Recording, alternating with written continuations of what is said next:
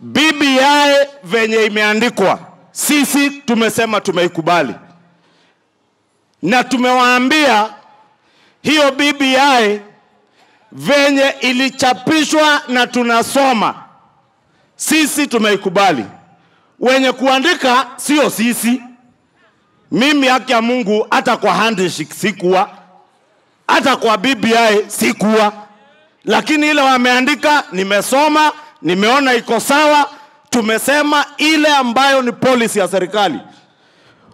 Badala ya hawa mawaziri kutupigia kifua, wewe rudi kwa ofisi yako, fanya kazi ya policy implementation.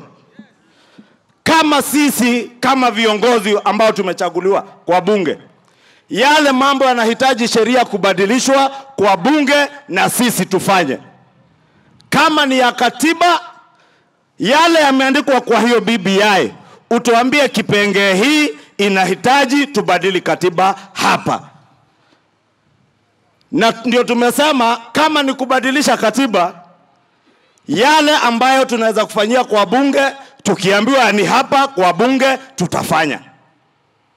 Kama iko mahali mnataka kupeleka referendum, pia ni sawa, lakini ni referendum ya ile imeandikwa kwa BBI report.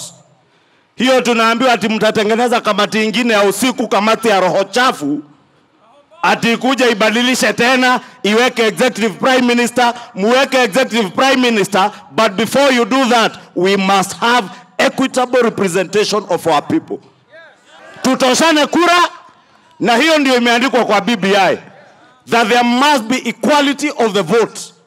For there to be equality of the vote, there must be equitable representation of the people.